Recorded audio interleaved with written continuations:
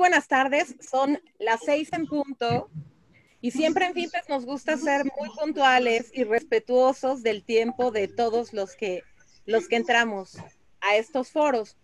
Eh, vamos a cerrar en este momento los micrófonos. Vamos a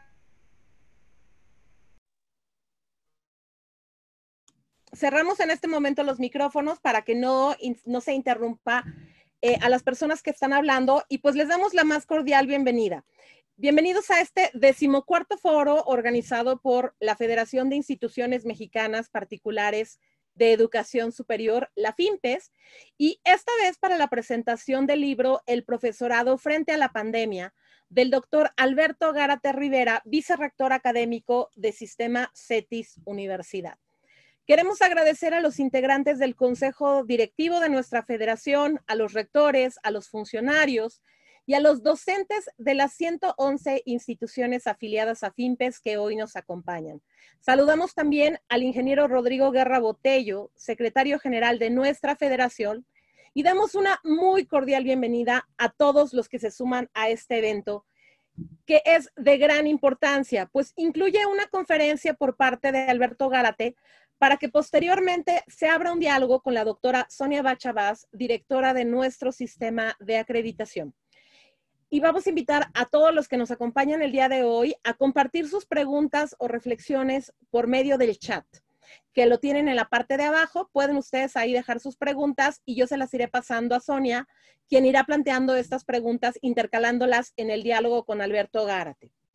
El libro que estamos a punto de presentar, El profesorado frente a la pandemia, incluye las experiencias de docentes y de estudiantes que fueron recopiladas por el autor, Alberto Gárate Rivera, quien es un apasionado de la educación y un docente convencido de que la educación es la clave para el cambio y para mejorar a nuestra sociedad. Alberto es además autor de varios libros en el campo de la pedagogía. Eh, durante toda la sesión, los micrófonos van a permanecer cerrados. Y antes de cederle los micrófonos a Sonia y Alberto, queremos presentarles un pequeño video. Adelante, David, por favor.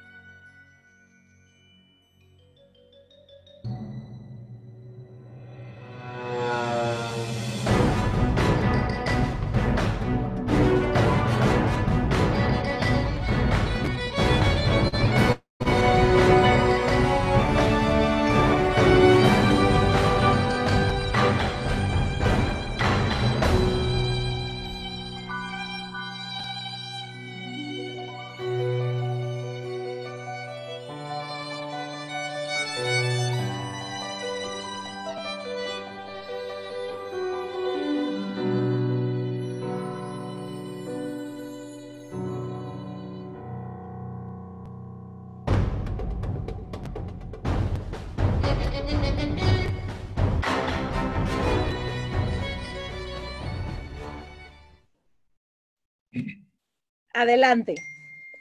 Bienvenido, Alberto, nuevamente. Muchas gracias. Pues creo que con esta eh, breve y, bonito video ya está dicho lo esencial del libro, así es que pasaría que Sonia haga las preguntas y los comentarios. Sonia. No, para nada, es, un, es una sorpresa que te teníamos, nada más. Ah, muy bonita, muy bonita, eh, y ahí están varias de las ideas centrales del libro. Buenas tardes a todos. Rodrigo, muchas gracias por el espacio. Sonia, igual, eh, quiero compartir con ustedes eh, la pantalla, algunas ideas. Maru, también te agradezco mucho el trabajo, la logística, la organización. Y a todos los colegas de, de FIMPES que están por acá, las universidades socias, amigas, compañeras, y que andamos eh, en, en este mismo curso del desastre o en el soplo vital, como queramos reconocerlo y llamarle, pues agradezco a todos. Voy a plantear en estos eh, minutos una serie de ideas eh, que comprenden la, estructura y, digamos que la esencia de este libro, eh, un poco los orígenes, un poco el, sentido que tiene. y luego me, dialogaré, como siempre, con emoción y con gusto con Sonia en torno a, ese trabajo. Es un libro, eh, se llama El profesorado frente a la pandemia, un libro de relatos inscrito en una técnica que podríamos llamar o denominar la narrativa interpretada. Voy a irme refiriendo un poquito a este sentido de lo que es la narrativa interpretada en la educación, eh, eh, con algunas cuestiones que voy a ir tocando por acá.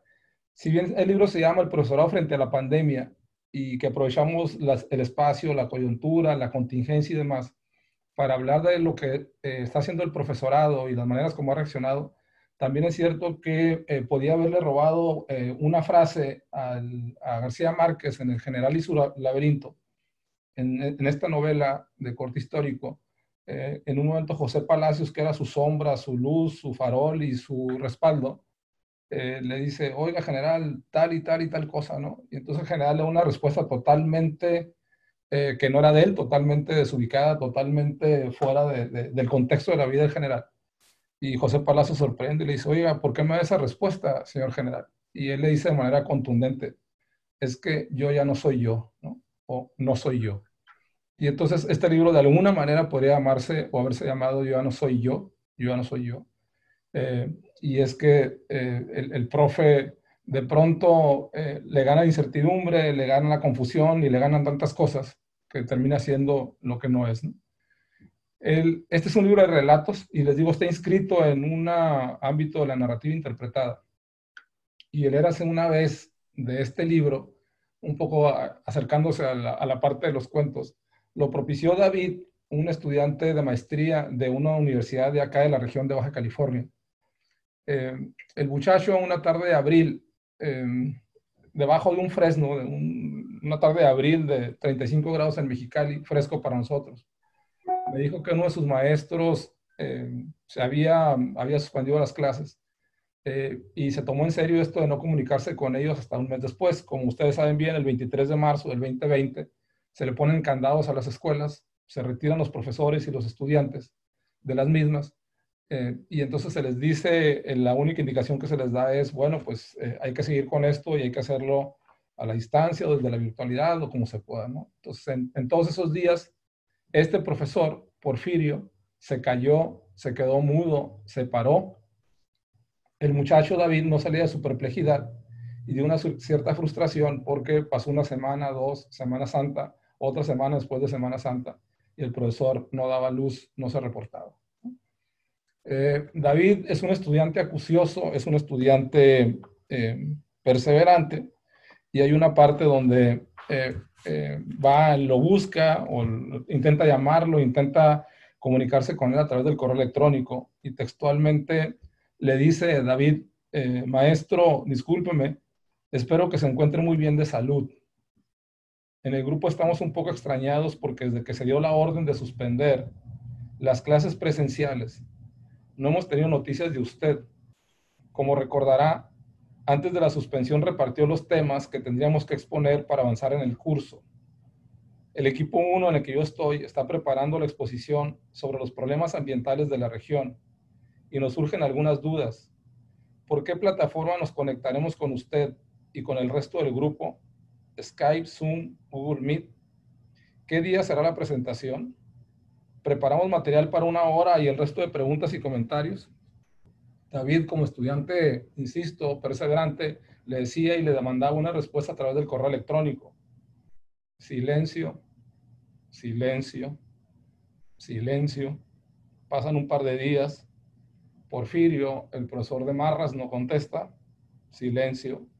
David, que es perseverante, le vuelve a escribir y al tercer correo, dos días antes de lo que suponía sería la presentación, el tipo le responde, y el muchacho sonríe al recordar la respuesta que le da su profesor. No me la quiere contar y yo le digo, cuéntamela, cuéntamela. Duda y al fin se decide. Y me dice, me da pena chismearle lo que me respondió, pero como usted me está preguntando, bueno, le digo. Sus palabras fueron más o menos estas. David, ningún Skype o Zoom. No me arriesgaré a que tus compañeros no sepan usar esos recursos. Lo repito, no me arriesgaré a que tus compañeros no sepan usar esos recursos. Lo que ustedes deben hacer es preparar un PowerPoint y mandarlo al resto del grupo y a mí y con eso los calificaré. Si al final del semestre veo que hace falta un examen de contenidos, les avisaré para que se preparen leyendo las exposiciones de los equipos. El profesor David, el profesor Porfirio, se cayó, se mantuvo en silencio, se retiró, ¿no? Y cabría preguntarnos por qué en pleno curso del desastre el profesor Porfirio dejó de ser lo que era. Si es que era de alguna manera un profesor con un cierto nivel de compromiso. Y la conclusión de ese relato del profesor David, el curso del desastre, es que ya no era él. Parecía decirle a David, ¿qué quieres? Ya no soy yo. Ya no sé qué hacer. Ya no sé cómo hacerlo. Ese es uno de los relatos de este libro. Está constituido por 12 relatos. Luego me encuentro con Marlene. Marlene, estimados colegas, es un estudiante promedio de una licenciatura en deportes. O sea, no es, no es el, el, estudiante adelantado como es David, perseverante y terco y diecero. No, no, es un estudiante promedio de una licenciatura en deportes. Un día tengo la oportunidad de hablar con ella. Y entonces la muchacha dice algo que seguramente una buena, una gran mayoría de estudiantes de ustedes dirían esto que ella dice. Yo le pregunto cómo estás. Y entonces veo que, eh, veo que casi siempre el tiempo eh, va por un sendero y la necesidad por su opuesto. No sería del todo cierto que los jóvenes vean al mundo como quisieran que fuera. Los tintes de idealismo están a la orden del día y los viejos, como yo, más impactados por los hechos. Vemos la realidad o el mundo sin espejismos, a veces de forma muy cruda. Marlene, como digo, es una estudiante de licenciatura de deportes o en deportes y me platicó, fíjese que le gusta mucho su carrera, que le gusta estar en el patio de la escuela y jugar una cascarita de voleibol ahí, ahí en el patio de la escuela, en su territorio. Así, una cascarita de, de voleibol de forma improvisada, apostando el refresco y los tacos de machaca. Dice que le gusta competir en una carrera en la pista y aprender las técnicas para correr más rápido lo que no le gusta son las clases a distancia. Y tiene 19 años. Y es que no es fácil hacerla hablar, pero cuando lo hace, me dice, ¿qué quiere que le diga? Mire, quisiera que mis clases fueran presenciales. No estoy muy convencida de que conforme nos adaptemos a trabajar en plataformas digitales, los profesores también van a mejorar. En todo caso, el cambio es para ambos. Nadie lo había vivido, ni ellos ni nosotros. Vaya alcances de chamaca, ¿no? Y yo le digo, Marlene, ¿aguantarías un nuevo semestre a distancia? Y ella me dice, la verdad, no. Responde sin dudarlo.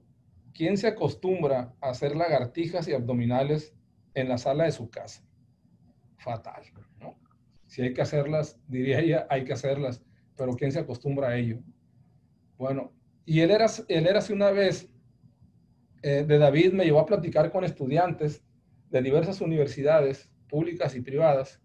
Hice lo propio con profesores de largo aliento, profesores de corto aliento, es decir, profesores que tenían un semestre o dos dando clases, profesores que tienen 35 años dando clases, profesores expertos en tecnología, profesores inexpertos en casi todo lo pedagógico. No fui por los mejores profesores, no fui por los peores profesores.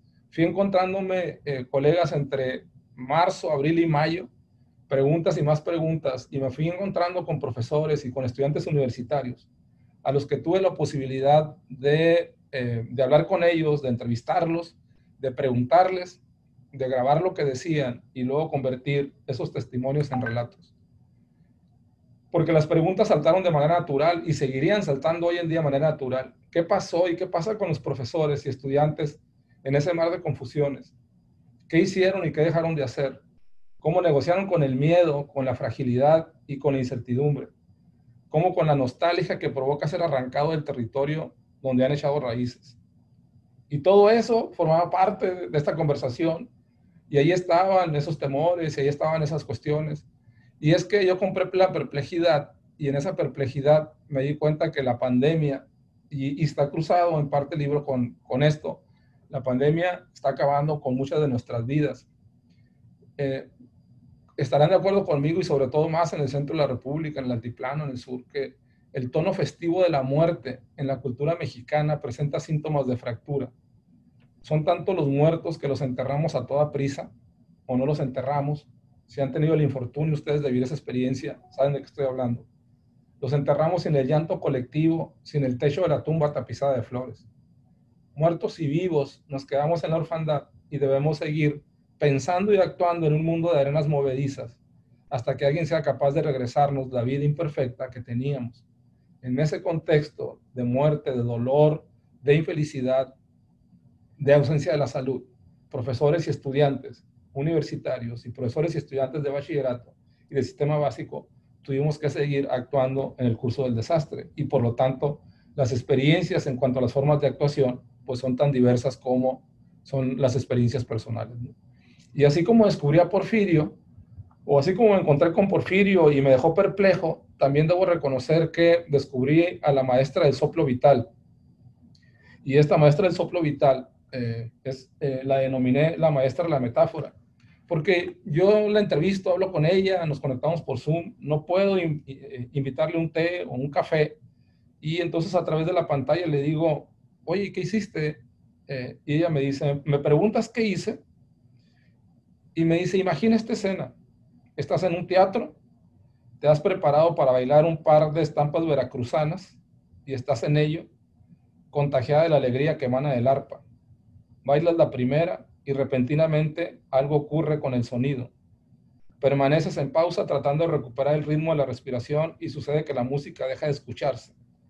Volteas con el director que está en una cabina en el fondo del teatro y le escuchas decir, estimado público, tenemos un cambio en el programa una voz allá a lo lejos, un director de escuela, un rector, un director general dice, estimados profesores y estudiantes, tenemos un cambio en el programa. Y ese director dice, el ritmo cambia del son jarocho a una polca tamaulipeca. Frente al público, todos te ven. Lo único que no puedes hacer es dejar de bailar, me dice esta maestra. A lo sumo puedes pedir un minuto para cambiarte la falda, no tienes tiempo para ponerte un chaleco, ni un sombrero, ni, ni unas botas norteñas. O bailas o te retiras del escenario. Como esto último no es opción y ya no puedes hacer el moño de la bamba, pues cambias el switch y esperas no llorar ni hacer el ridículo, sino bailar lo mejor posible. ¿Me captas, profesor? Eso nos ocurrió a los profesores de todos los niveles educativos. Estabas enseñando, combinando un proyector con el clásico GIS y el no menos antiguo pizarrón, o marcadores y pizarrón blanco, si te quieres ver más moderno, cuando de pronto te agarran al vuelo a punto de entrar al aula y te dicen, no más, ahora enseñarás de otra manera. ¿De cuál endemoniada manera? Y lo que hay en este relato del soplo vital con Rebeca es que aún en medio del curso del desastre, ella lo que dice que hizo y la manera como respondió, reafirma que ella sigue siendo ella, a diferencia de Porfirio, que ya no sigue siendo él. Y luego me encontré con Héctor, y supe desde sus primeras palabras que al igual que Rebeca, la pandemia no trastocó su ser, su ser yo. Eh, el caso de, Héctor es un caso muy interesante también, profesor universitario como todos, como todos nosotros. Eh, voy y lo veo, lo veo aún arriesgando el tema de, de la distancia y demás. Lo veo porque me interesa mucho preguntarle qué hizo y cómo le hizo. Y eh, hay todo un relato de parte de él, y, pero lo que quiero compartirles a ustedes nada más es un par de párrafos, que es el final del relato, que creo que es el que vale la pena. Porque mm, algo, algo le está inquietando, algo le está inquietando, y de pronto le digo yo, suéltalo, suéltalo, ¿qué es lo que, qué es lo que me quieres decir?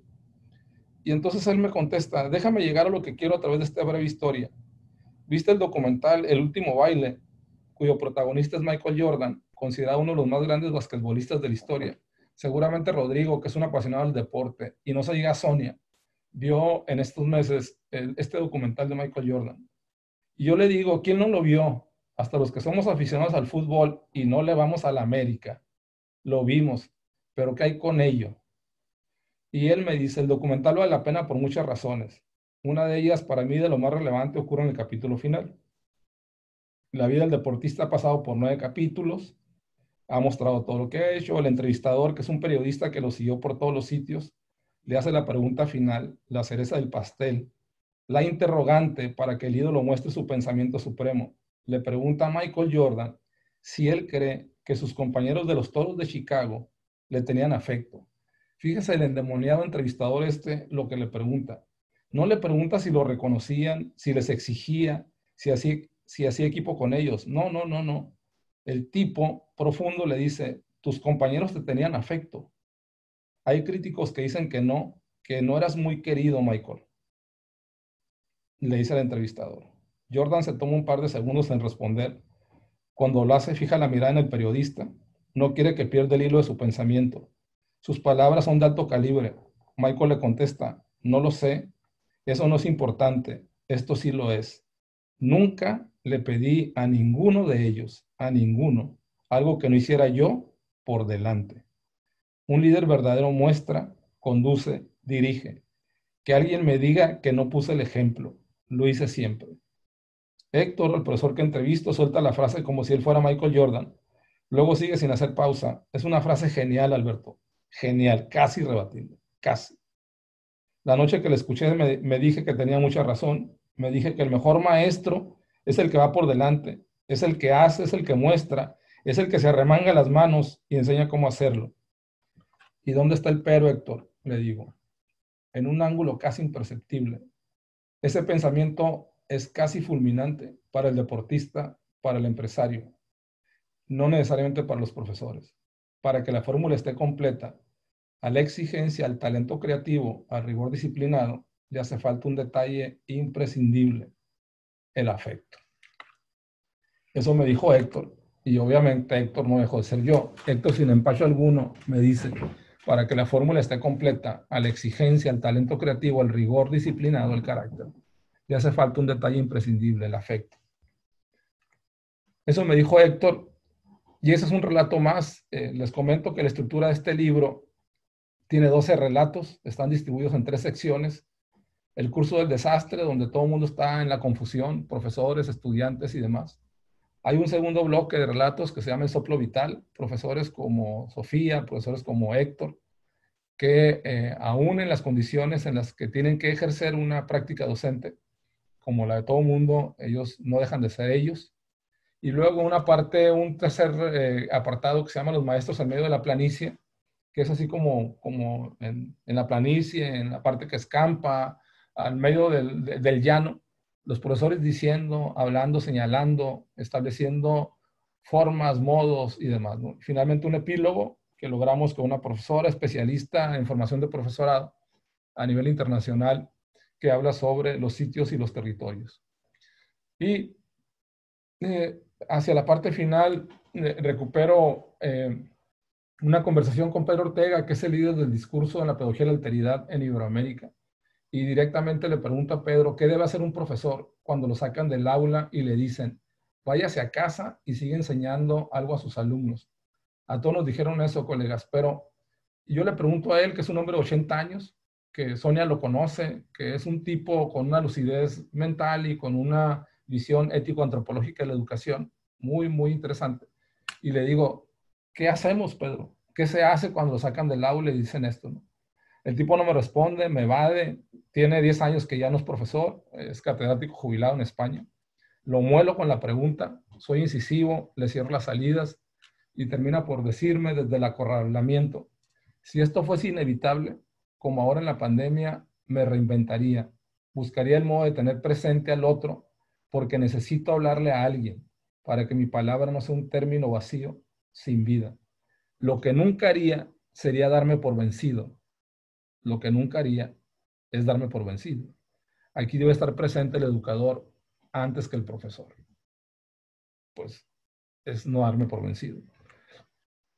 Y bueno, vamos eh, siguiendo hacia la parte final del, texto. Eh, eh, ¿Qué pretenden al final de cuentas mostrar los relatos? Esta narrativa interpretada, el profesorado frente a la pandemia, pretende demostrar la reafirmación de una tesis pedagógica y es como tal una tesis pedagógica muy vinculada a la pedagogía de alteridad, pero eh, principalmente lo que trato de señalar es que el carácter de la persona, el carácter del profesor y su voluntad, dos cosas difíciles de, definir, eh, que se pueden definir en términos filosóficos, en términos pedagógicos también, pero este, el carácter, el, hacer y la voluntad, el deseo de, son elementos esenciales para la actividad docente y baso sus atributos en la pedagogía de la alteridad, particularmente en dos de ellos, la responsabilidad ligada al carácter y el trabajo desde el testimonio ligado a esta voluntad de hacer. El profesor provisto de esto, del carácter y la voluntad, es decir, de la responsabilidad y del y de el sentido del compromiso, del testimonio, más el desarrollo de las capacidades pedagógicas, porque algo debe saber y algo debe saber cómo enseñar, que es el conocimiento y el manejo de recursos didácticos, le permitirían actuar en cualquier situación, por más que perdure la pandemia. Es decir, la pandemia es una circunstancia fuerte, importante, eh, crucial, determinante. Pero lo que yo me he dado cuenta en estas historias, en estas entrevistas, en estas conversaciones con los profesores es que aquellos que tienen el carácter y la voluntad y que además saben, saben qué enseñar y saben cómo enseñar, eh, las dificultades son bastante menores y son profesores que nunca dejan de ser lo que son. Eh, ¿Qué muestran los relatos? Sin ser dicotómicos, pues que hay profesores que se detuvieron y reiniciaron el camino apretando los dientes, con mucho cansancio y con una condición deteriorada, y son profesores que permanecen en la simulación, que permanecen en una crisis, que no salen de ella y que, así como actuaron en abril y mayo, están actuando en agosto, en septiembre, en octubre. Y hay otros que lo hicieron también apretando los dientes, pero solidarios con el temor de sus estudiantes y corriendo los riesgos de equivocarse una y otra vez. Esto es muy importante porque fueron solidarios con el temor de los estudiantes y con su propio, solidarios con su propio temor y asumiendo riesgos y riesgos de equivocarse una y otra vez se movieron, intentaron hacer. Y es cierto, eh, al final de cuentas, la narrativa interpretada no plantea respuestas únicas, tendencias, conjeturas, pero sí plantea testimonios, ideas y formas de actuación, y eso es lo que se van a encontrar ustedes en este libro, El profesorado frente a la pandemia. Yo creo que los que no se detuvieron fue porque probablemente sepan que el secreto de toda empresa, que parece imposible, es que no lo es, que siempre hay modos que si los senderos no existen, hay que construirlos. Y para ello en educación se necesitan al menos tres cosas. Lo he dicho, el carácter, la voluntad y un saber imprescindible para ponerlo al servicio del otro. Y eso es lo que fuimos encontrando en este libro, El profesorado frente a la pandemia. Pues ahí están las ideas, 12 relatos, un epílogo, un texto basado en una narrativa interpretada, porque si bien es cierto, tenemos ahí los testimonios de profesores, también es cierto que hay una suerte de articulación con ideas, conceptos, con un tanto de un pensamiento eh, teórico que nos lleva a reflexionar sobre la práctica docente eh, del maestro universitario. Pues adelante, mi estimadísima eh, Sonia, abiertos a tus comentarios y a tus notas. Tienes el micrófono. Muchísimas gracias, Alberto, por la intervención Hemos tenido muchos otros foros en los que hemos hablado de la, de la parte académica o de la parte de cómo ayudar a nuestros profesores. Y me parece que cuando hablas de la narrativa, tenemos opciones para hablar un poco más del sentimiento, de cómo nos vemos, de cómo nos vemos en el futuro. De hecho, cuando en una de tus láminas tuviste, diría el señor Freud, un acto fallido, porque tu lámina decía, la pandemia está cambiando nuestras vidas y tú dijiste, la pandemia está acabando nuestras vidas. Este, yo pregunto, ¿está acabando? ¿Qué vamos a hacer? Porque de las grandes mentes que están hoy por hoy en, todos lados, como es Yuval Harari, dice que la verdadera gran pregunta que existe es psicológica, que como seres humanos tendremos la estabilidad mental y la inteligencia emocional para reinventarnos repetidamente. Parece que esto de la pandemia nos va a seguir haciendo que cambiemos, que nos reinventemos. Y hace ocho días tuvimos aquí a unos eh, doctores colombiano y argentino que nos dijeron que los alumnos que no sean capaces de reaprender, de quitar lo que saben para aprender otras cosas y de enfrentarse nuevamente a, yo estudié para ser piloto y hoy hay que manejar drones, pues no van a tener éxito en la vida. Entonces, ¿qué es lo que tú piensas que va a seguir en el futuro? porque esta parte de la narrativa nos da para sentirnos solos, perdidos, a, a ti, a mí, a los profesores y a todos los alumnos que están con nosotros. Fíjate que eh, sí, debió haber dicho, de hecho el texto dice, está cambiando nuestras vidas, no puede estar acabando, ha acabado con algunas vidas, ¿no? Y ahí yo lamento eh, mucho las pérdidas. Eh, este millón de personas que han muerto por la pandemia, que según datos que se leían ayer a nivel mundial, pues es una verdadera tragedia para estos tiempos, ¿no? Hay gente que ha, que ha terminado pues con su vida, pero a nosotros, a los profesores y a las escuelas, nos está cambiando la vida. De alguna forma, eh, y yo trato de situarme, Sonia, en, diría que en, un presente, en un presente presente con ciertas líneas de futuro, pero no en el ámbito de la futurología o no en el ámbito de que, em, de, que esto va a ser distinto, de que hay que cambiar radicalmente, de que hay que ser disruptivos, de que esto no es una tormenta, sino un, huracán. Eh, es cierto, pues eh, los futurólogos están viendo eso en la vida, los profesores y las escuelas y los estudiantes eh, sentimos la vida y vemos la vida, la vida educativa, eh, con un poco más de, perdóname el término, un poco más de lentitud, digamos que un poco, un poco más enraizados, pues, ¿no?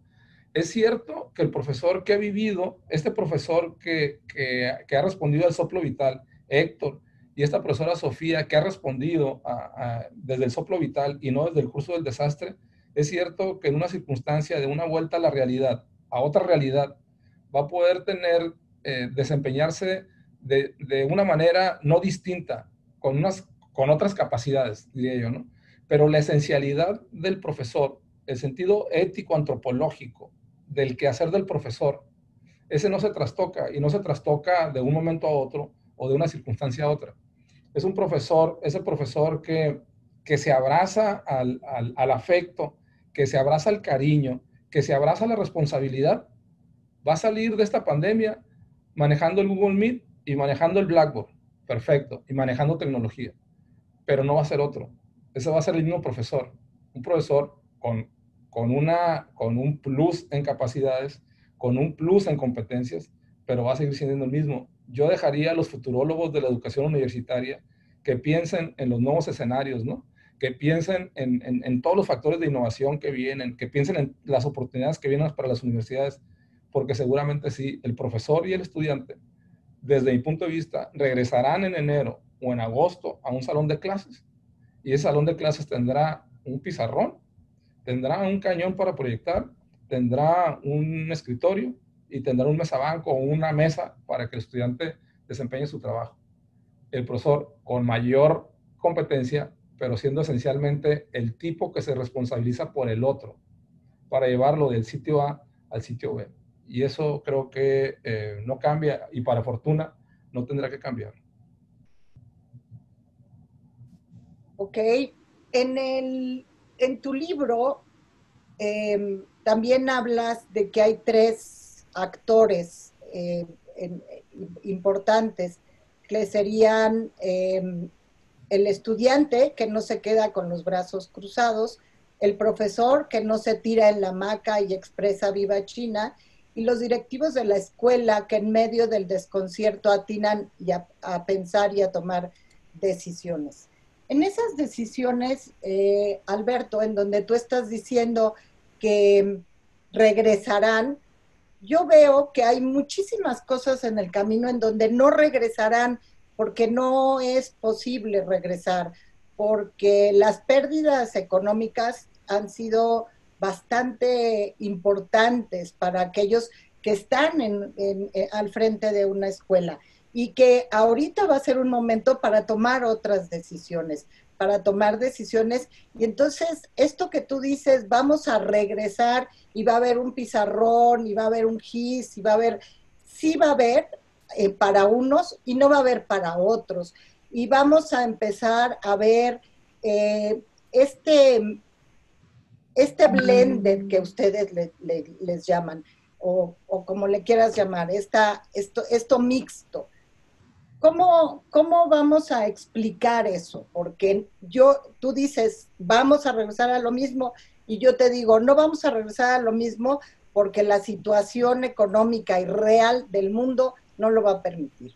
Entonces, cómo es ese, cómo se va a sentir ese maestro, porque en el fondo, en el fondo hay unos maestros que sufren, que están, que se sienten, eh, que se paralizaron a lo mejor porque están aterrados, o sea, del otro lado de la pantalla puede haber alguien que no sepa cómo y que a lo mejor como académicos o como administrativos de lo académico no hemos llega, llevado. Yo quisiera situar la, tu pregunta en el terreno. No sé si hay muchos directivos escuchando esta conversación. Seguramente muchos directivos. Hay muchos. y, y, seguramente muchos directivos. Y si a los directivos, yo siendo directivo, comparto también la circunstancia de que eh, la pandemia tiene que generarle a las universidades áreas de oportunidades, ¿no? Oportunidades y tenemos que enfrentar esas oportunidades eh, con un una afinado sentido de, la innovación. Eso lo comparto absolutamente, ¿no? Porque igual dirías tú, hay, las universidades si regresan a hacer exactamente lo que hacían antes, van a, eh, deja digo esta barbaridad en términos de, administración universitaria, van a quedar fuera de mercado, ¿no? creo que esa es una responsabilidad de todos nosotros como directivos, sí, sin lugar a dudas, ¿no? Eh, lo que sucede es que yo también sitúo el análisis en, la perspectiva, en el campo del profesor, no necesariamente del, del, directivo institucional, sino del profesor. Y el profesor, en el profesor están ocurriendo, al igual, al igual con el directivo, cambios importantes. Eh, había un maestro con el, que, con el que yo platiqué que me decía, ¿por qué se atreven a decir que vamos a regresar a la nueva normalidad? No es cierto, y es que ya no hay una nueva normalidad, esto no, no va a ser normal. Simple y sencillamente se murieron algunos y ya no van a estar, y esos no van a regresar, y eso cambia la vida, decía. Habrá una, probablemente una nueva realidad, pero también ha habido bajas en, en este asunto, Sonia, y, bajas que uno de pronto podría lamentar, porque es gente que, eh, profesores pues como tal, que, que, que no, han, no han podido ser un tanto versátiles, no han podido ser un tanto abiertos, no han podido eh, entender un poco la dinámica de lo que implica la pandemia. Eh, Raquel, una profesora de 79 años, 79 años, enseñando alrededor de 45 o 50 años, un poco más de 50 años, en la Universidad de Arizona. Le llega la pandemia en marzo. La señora a los 80 años, a mí me tocó verla, he hablado con ella, la he entrevistado, completamente lúcida, un, pensamiento de los más avanzados en cuestiones de inmigración y de la mujer mexicana en Estados Unidos, completamente lúcida, sabiendo que ella en, un aula todavía tiene cosas que enseñar. Por supuesto que tiene cosas que enseñar. Y viene, le cierran la escuela, le cierran el salón, la sacan de su territorio y le dicen que tiene que enseñar en línea, que tiene que enseñar a la distancia, por Blackboard o como ella quiera, pero que tiene que enseñar eh, a través de modalidades no presenciales. Y la señora sufre y sufre. Cuando yo la entrevisté, la entrevisté hacia finales de mayo, principios de junio, y sufría y sufría y dijo, yo no pensaba irme, ya me voy, me jubilo, ¿no? Y se va. Y así se ha ido mucha gente, ¿no?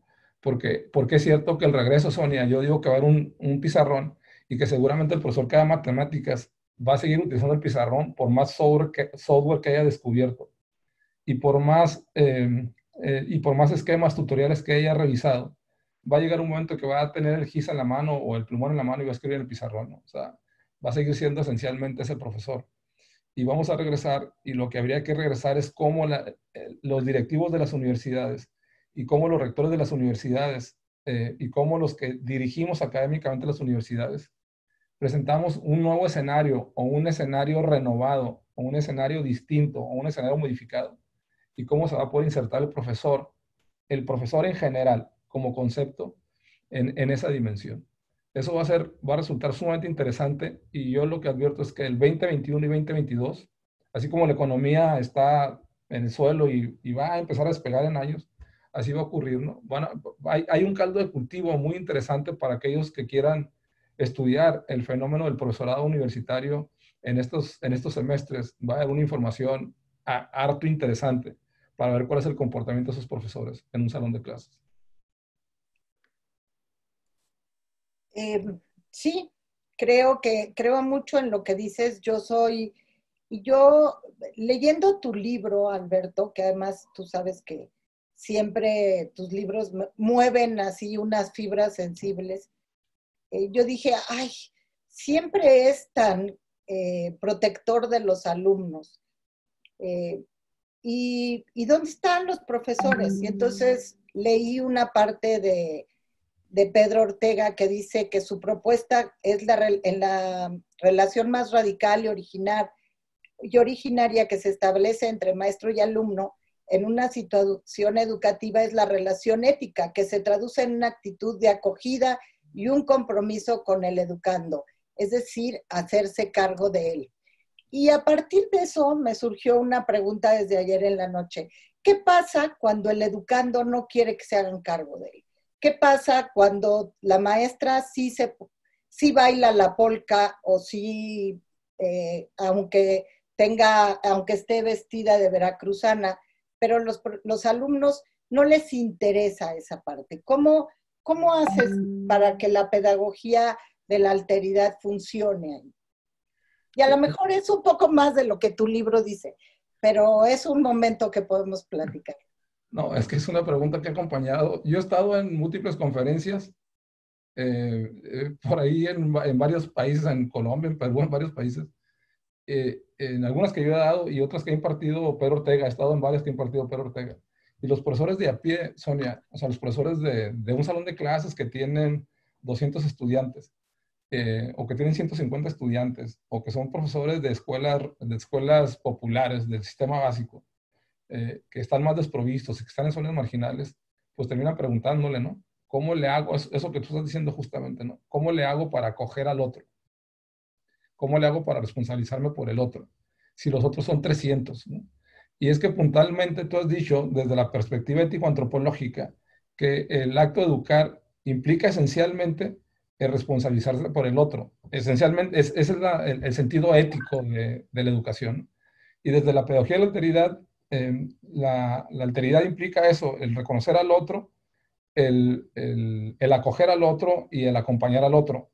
Em, pero sucede que en la vida real, digamos que eso, eso como corpus teórico, cuando tú te enfrentas en la vida real a lo que hay ahí, un profesor va y ve, y, más de una vez hemos tenido que decir, tú estás en un salón de clases y puede que tengas 15 estudiantes que están ahí eh, fatalmente porque no pueden estar en otro sitio, ¿no? Y que tú tratas de moverlos, tratas de conmoverlos, tratas de ayudarlos, tratas de responsabilizarse y que finalmente no, eh, no reaccionan, pues, es decir, no, no, no, no te responden, ¿no? Pero habrá uno que sí te responda, habrá uno que eh, te vea el rostro, habrá uno que eh, entienda lo que estás diciendo, habrá uno que se enganche con lo que estás diciendo y habrá uno que puedas potenciar, que lo puedas llevar a otro nivel, ¿no? Pues no es que la pedagogía de alteridad sea selectiva ni mucho menos, pero ciertamente en un ambiente educativo real, real y concreto, habrá alguno que está desprovisto, que está marginal, que está huérfano, huérfano en ese sentido místico, religioso, y que escuche lo que tú digas y que te permita eh, acompañarlo. Y ya cuando haces eso, cuando, cuando por lo menos un estudiante es capaz de acompañarte, estás en posibilidad de, hacer algo que nosotros hemos dicho también en teoría, que rompes un círculo precario, rompes un círculo, un círculo de la precariedad, porque ayudas a un estudiante a dejar de ser lo que era, lo que era histórico y contextualmente, y lo conviertes en otro. Ahí sí vale la pena ser, no, dejar de ser yo para ser otro, para ser otro distinto, para ser otro más completo. Entonces, eh, la pedagogía de alteridad no te lleva, no, no es una propuesta metodológica ni didáctica, por lo tanto no puede responder a decir, si hay 30 chamacos que no van a responder a ti, pues habrá que esos 30 que no respondan, sí, pero si hay uno que responde, ese, eh, a ese serás capaz de llevarlo y acompañarlo a otro nivel de desarrollo. Sí, yo también fui alumna, afortunadamente, de Pedro Ortega y conozco conozco este, eso que él dice. Sin embargo, a través de, las clases, te das cuenta que a distancia es mucho más difícil, mucho más difícil eh, ver, esa, ver a ese huérfano que necesita de ti, ¿no? Y, entonces se vuelve mucho más complicado. Eh, a ese respecto, hay algunos comentarios que quisiera hacerte porque ya los pusieron en el chat y no quisiera que se, que se perdieran. Eh, Norma Verónica Valencia dice, yo quiero ver los rostros de mis alumnos y tratar de interpretarlos. adelantarme a la expresión verbal de sus dudas cuando explico un tema. Y em, otra, Margarita Ricardes dice, muchas gracias por este trabajo, maestro Alberto. Grandes por compartir estos testimonios que son más que una muestra de nuestra realidad. Ya lo decía Carlos Darwin, no es la población más inteligente ni la más fuerte la que sobrevive, sino aquella que sabe adaptarse de la mejor manera al cambio. Eh, agradezco la... Eh, Eira Luz Pucheta dice, buenas tardes, agradezco la narrativa compartida y me genera muchas emociones. Sé que muchos somos los que apretamos los dientes y fuimos solidarios con la comunidad educativa, porque nuestra razón de ser es formar profesionales integrales. Todos hemos aprendido y crecido juntos. Otra, coincido con Sonia en que ya no seremos los mismos. Yolanda Eva Reyes, la realidad se ha transformado y debemos adaptarnos a las nuevas circunstancias para evolucionar como profesor. También los alumnos habrán cambiado, tal vez hayan madurado más rápido de lo previsto y debemos estar preparados para responder a nuevas expectativas. Oye, Sonia, ¿te acuerdas de, por, ese comentario creo que Yolanda, ¿te acuerdas de, eh, La educación encierra un tesoro de Jacques Delors, mediados de los 90, y, los, y los cuatro famosos aprenderes? hay, una historia, hay una historia detrás de ese libro, es un reporte para la UNESCO, como bien saben ustedes. Hay una historia interesante detrás de ese libro porque, digamos, relatado, eh, a Jacques Delors lo contrata a la UNESCO para que vaya a tirarse un rol, para que vaya una vuelta por el mundo, a ver cómo estaban los sistemas educativos justo en el umbral del siglo XXI. Todo iba a cambiar en el siglo XXI, ¿no? Es decir, toda, la, toda la teoría, la teoría socioeducativa, la teoría sociológica, la teoría sociopolítica, hablaba de cambios radicales en el siglo XXI. Es más, las computadoras iban a, paralizar el primero de enero del, del 20, perdón, del siglo XXI, ¿no? Del, año 2000.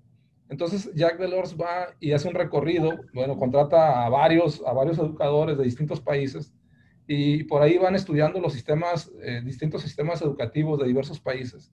Y al final escribe el tipo, este libro que tiene el título muy afortunado, ¿no? La educación encierra un tesoro que básicamente es el reporte que le entrega la UNESCO, aunque lo hace libro, pues.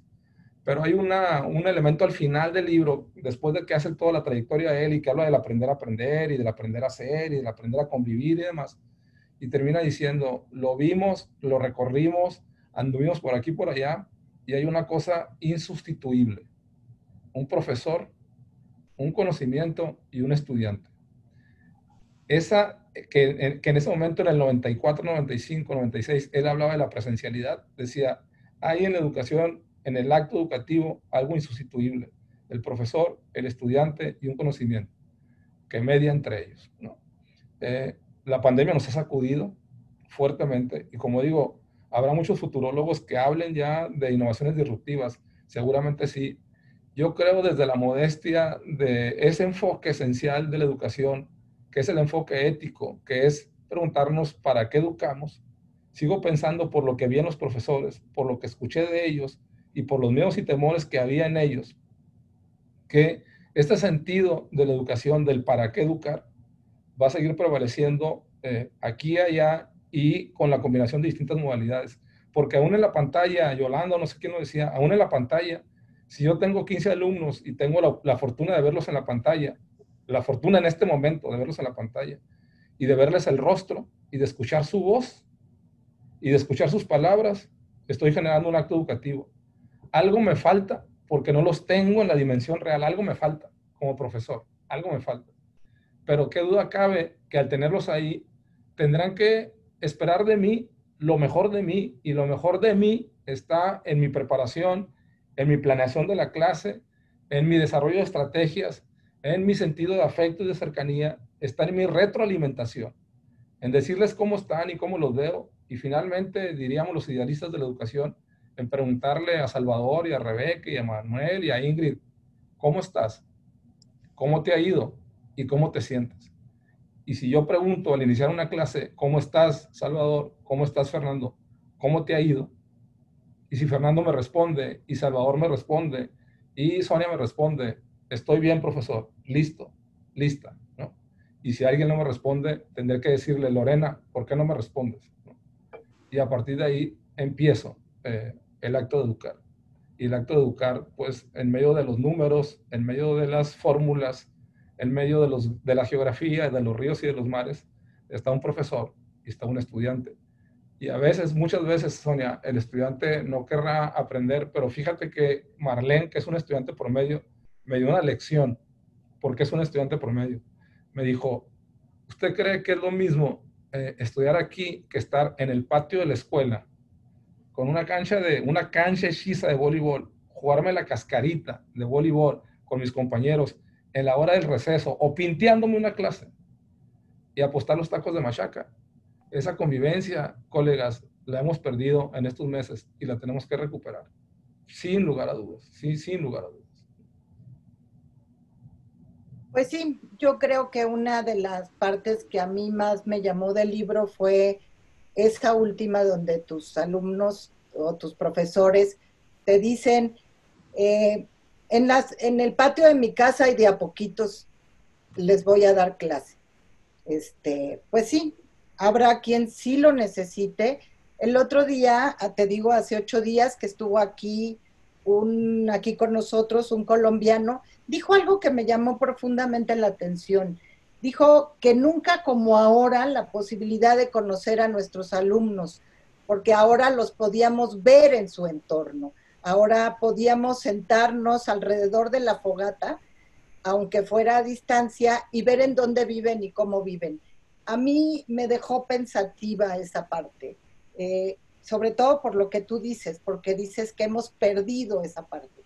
Él, por ejemplo, ve como una oportunidad entrar a las vidas personales de cada uno de ellos. Esa, eh, yo te lo dejo de tarea porque me, llamó mucho la atención eh, que lo dijera, porque pues para mí, para mí, igual que para ti, me hace falta ese, ese pedacito.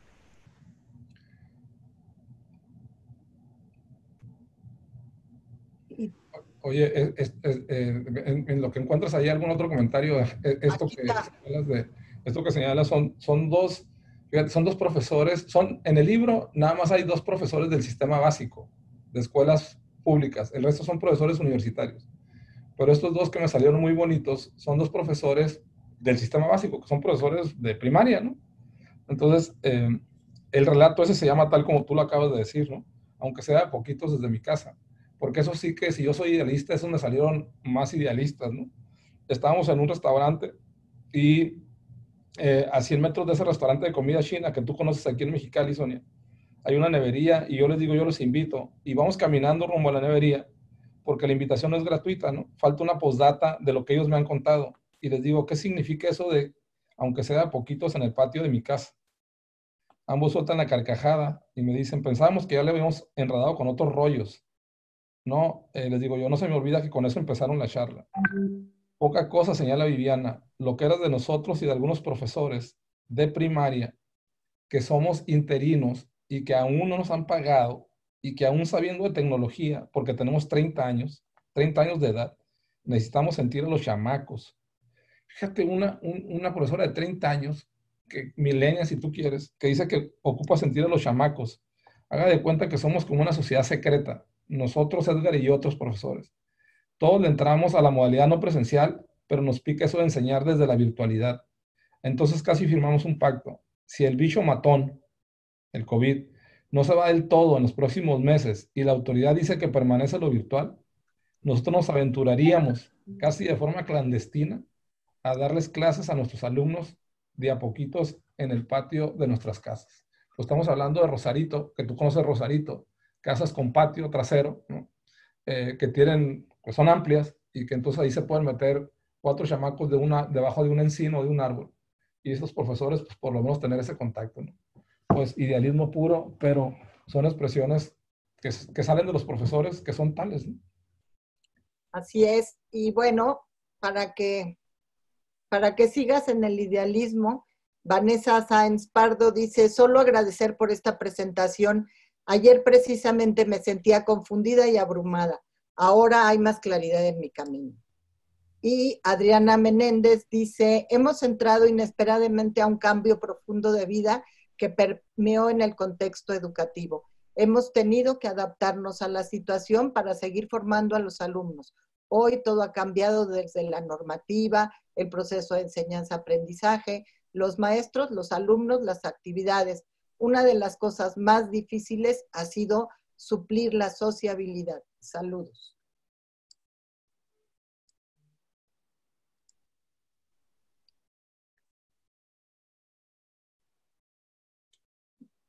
¿Me oyes? Sí, perfectamente, sí te escucho. Es que perdí, creo que perdí a, perdí a, Maru. Ok, este, pues ¿cómo ves? Esos son las, los comentarios que te dejan algunos, algunos de los comentarios. Y el otro, allá, ah, ya entró Maru. Aquí estoy.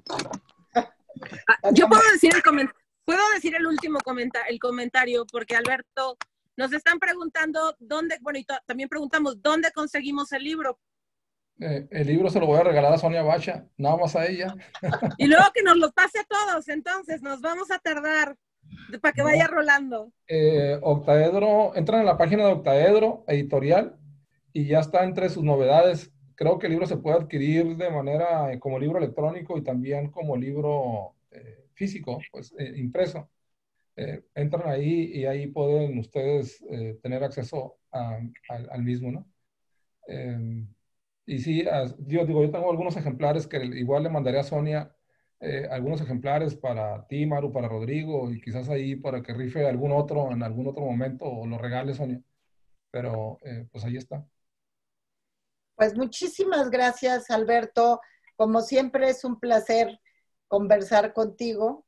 Em, en asuntos de regalo, nosotros también te vamos a regalar este, algo. Y entonces ya le dejo a, Maru que ella siga. Eh, yo me siento muy halagada y muy contenta de poder haber hablado contigo.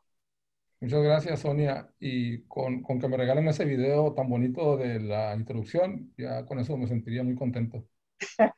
Eh, no, muy bien. Qué bueno que te gustó. Y, lamento de verdad el no poder interactuar con, con todos estos colegas, porque seguramente hay una tertulia tomándonos un café entre todos. Sacaríamos ahí eh, cientos de historias que podríamos contar de lo que está aconteciendo en los salones de clase, pero yo creo que ya habrá otro tiempo y en ese tiempo a ver si coincidimos y, podemos platicar. Muchas gracias, María y gracias, Rodrigo, también eh, a ti por, por el espacio.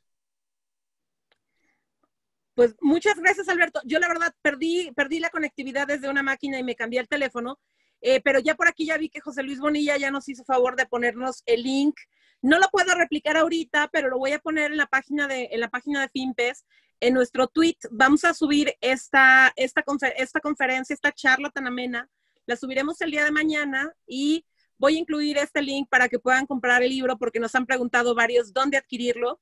Lo que está en pantalla, Alberto, es el obsequio que tenemos para ti. Es una obra que se mandó a hacer especial para estos foros virtuales y es del autor, eh, perdón, del artista mexicano Luis Moore y pues representa precisamente esta, esta interconectividad que existe hoy por hoy, eh, cada uno en su espacio, cada uno en casa, cuidándonos, pero desde ahí estamos todos intercambiando las ideas.